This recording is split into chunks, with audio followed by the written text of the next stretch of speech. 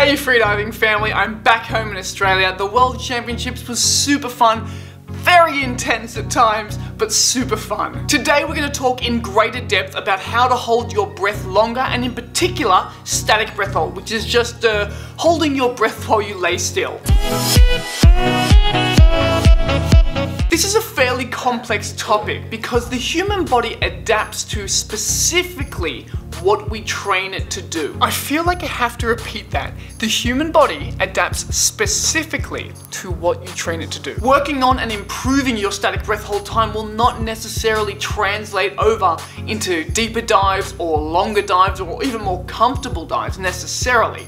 Just like diving deeper will not automatically give you a long static breath hold. I always get asked, how long can you hold your breath? And my answer is always, I haven't done a maximum static breath hold in five years because I specialize in diving deep and static breath hold just won't help me. Or maybe it's because I don't like static breath hold and I just say that. But in saying that, static breath hold is so important for your development as a freediver. And it's something that every freediver, except myself, should be practicing. What's the most important thing in freediving?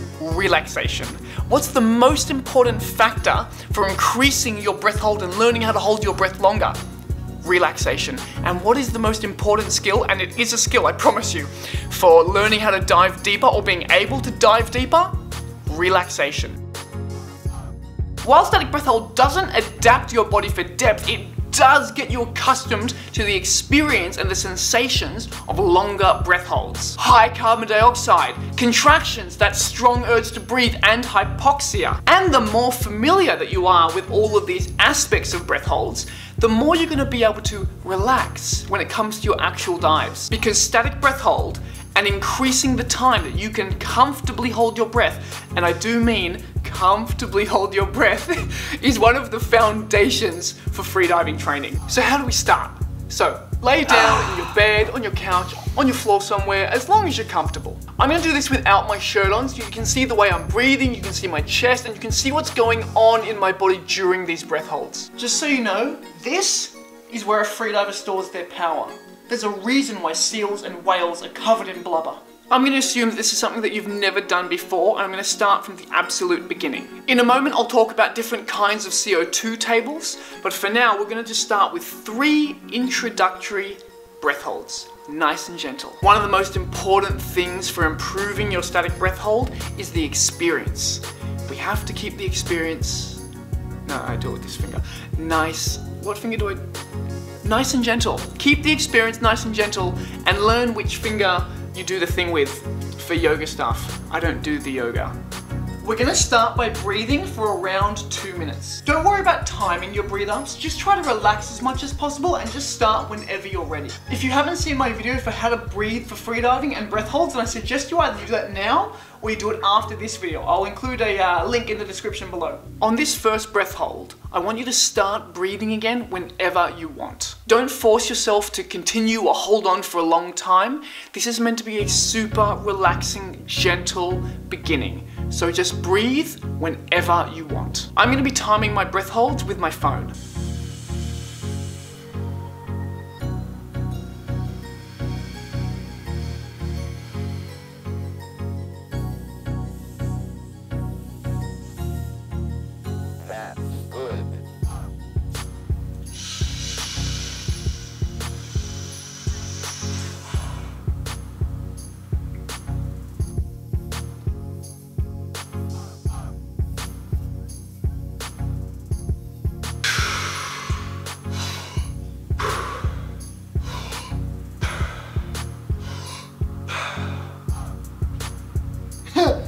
Just realized I also totally forgot to time that, but doesn't matter. Just go for the experience. Now on the next one, we're gonna hold our breath until we feel the urge to breathe. We experience the urge to breathe and contractions of our respiratory muscles when we have a high amount of carbon dioxide in our body. It happens when we hold our breath and I actually explained this in a much greater amount of detail in a previous video that I've made on how to hold your breath longer. So I suppose I may as well include the link to that video as well in the description. So let's hold our breath until we get the first urge to breathe or the first contractions of our respiratory muscles. You may also experience or feel this kind of like a, a tugging in the throat or a pulling in the throat. That's, that's the contractions going on in your respiratory muscles as well. Once again, don't push yourselves. Try to imagine this as if it were an exploratory experience. We're just seeing what it feels like to hold our breath until we get the urge to breathe.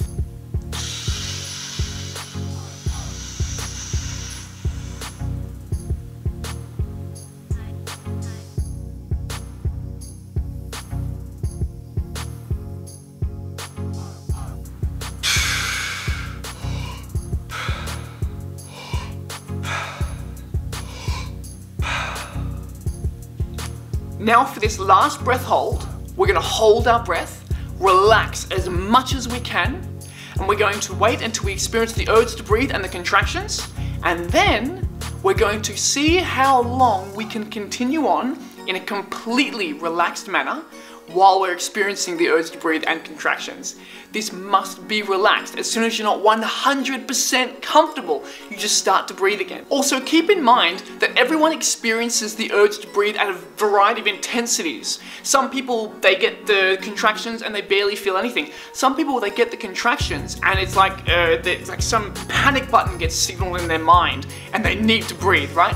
So we all get this at different intensities and different levels. Some people's bodies want them to survive more than other people's. For this last one, I'm just gonna make the contractions come on early. This way I don't have to go through a long breath hold. You have to sit there watching me for, for a long time. I just want you to see the contractions and what's going on in my body when I'm holding my breath.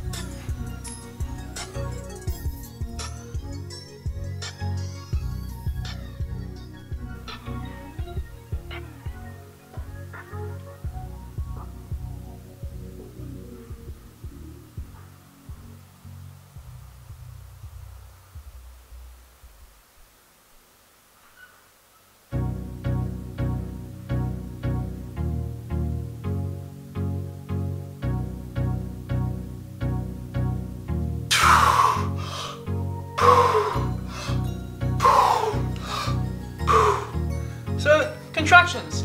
Involuntary muscle contractions of the respiratory muscles. You may have noticed that with consecutive breath holds, you were able to hold your breath longer and with more ease and you, you went for a longer period of time before the contractions began. This is your mammalian dive reflex engaging. Your body has a breath hold mode. It just usually takes a few breath holds to warm it up. This is why your first few dives usually feel pretty bad, because you have to engage the mammalian dive reflex. Soon we're going to talk about CO2 tables or carbon dioxide tables, and you'll notice that when you do those, your dive reflex really engages because we're gonna do about eight breath holds in a row. Oh, please do me a favor and can you comment your breath hold times for the, that exercise, breath hold one, two, and three. Comment that down below so that people can, in this video when they watch it, scroll down and get like a reference for what people are doing and what's possible in general. That would just be a good, uh, like a benchmark for everyone. You know, I always try to reply to every comment, but I travel so much and so sometimes it's really hard to do it. So I would love it if some of our more experienced divers would reply back to some of the questions in the comments. Knowledge sharing is what keeps our freediving family strong.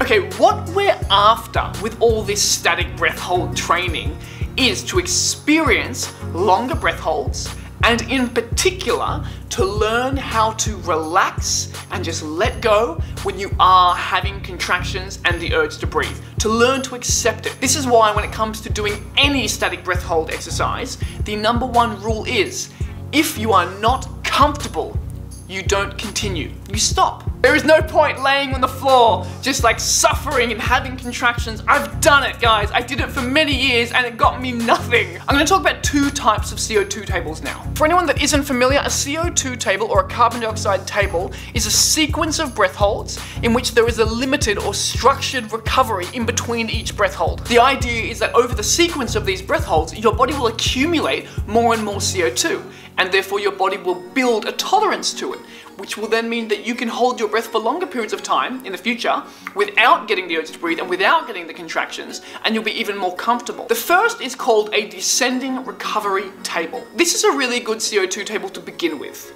We're gonna do eight breath holds. You take the time that you did on that third breath hold in the first exercise that we did, and then you cut it in half. So, if hypothetically uh, your longest breath hold time in that exercise was two minutes at the end, then your, your breath holding time for this table is gonna be one minute. And you're gonna hold your breath for one minute in each of these eight breath holds. So we begin with a one minute 30 recovery time and then a one minute breath hold. And then after every breath hold, we take away 10 seconds from the recovery time. So the first one will be 1 minute 30, hold your breath for 1 minute. The second one will be then breathe for 1 minute 20, hold your breath for 1 minute. Breathe for 110, hold for 1 minute. Breathe for 1 minute, hold for 1 minute. Breathe for 50 seconds, hold for 1 minute. Breathe for 40 seconds, hold for 1 minute. Breathe for 30, hold for 1 minute. Breathe for 30, hold for one, uh, hold for one minute. We try not to go under the 30 second uh, mark. I'll, I'll talk, I actually do talk a bit about that in a previous video that I've made about um, uh, how to hold your breath longer, but I won't go into it uh, right now because that's a conversation for another time.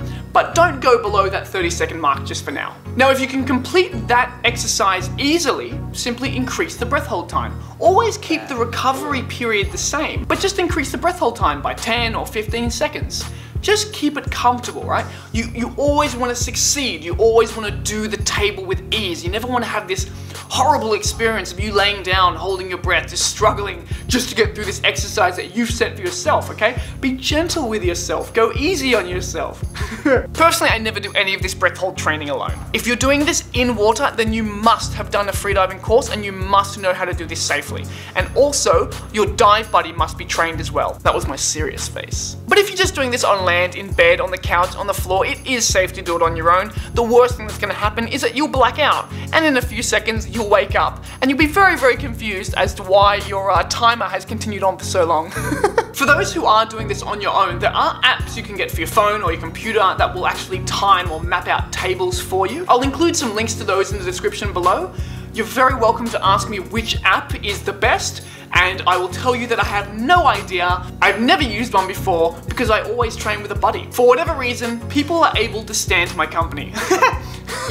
The other CO2 table we're going to talk about today is also a sequence of 8 breath holds. Why always 8 breath holds? Because that is what the freediving gods demand. Just so you do know, there are really two ways to appease the gods of freediving. You can either sacrifice gear into the ocean, you can lose your snorkels, your fins, everything like that. If you really want to please the freediving gods, you lose your dive computer. or you can bring up sand from the bottom of the ocean, wherever the bottom of the ocean is, where you're diving, and put it on top of your freediving float. That's another way to appease the gods of freediving, but that's it. They're very harsh and cruel gods. So once again, we're gonna use that time that we got on our, on our third breath hold of the very first exercise that we did, and we're gonna take 75% of that time. So, for example, if you held your breath for two minutes, then we're going to do breath holds of 1 minute 30. So for this table, your recovery time will always be 1 minute, and your breath hold time will also always be the same, which will be about 75% of your maximum breath hold time. So in this case, 1 minute 30. So eight breath holds, you'll always be breathing for one minute, and you'll always be holding your breath for 1 minute 30 if, for example, you held your breath for four minutes, right? I'm just choosing the numbers that are easy to do maths with.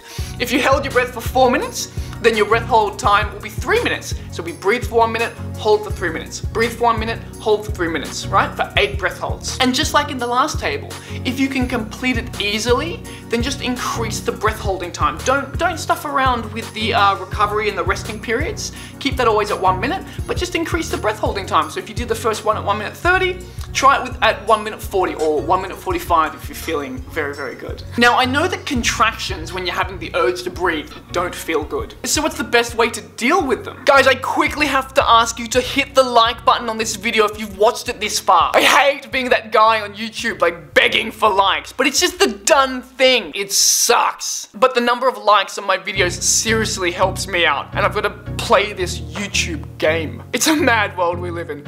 If you need me, I'll be underwater. So contractions don't feel great, but I promise you that just with practice and more and more exposure to having them, they will stop feeling so bad. They're just going to, on their own, start feeling more comfortable. And there will come a time when you start to have contractions, but you won't experience any of that panic or that strange strong desire to breathe. It simply won't be there. Those responses become more and more dull the more that you train them. Eventually, your brain realizes that no matter what it does, you are not going to start breathing again. You are, in fact, a fool, and it will just stop giving you the panic button. and this is just another reason why you need to just take your time do it with ease.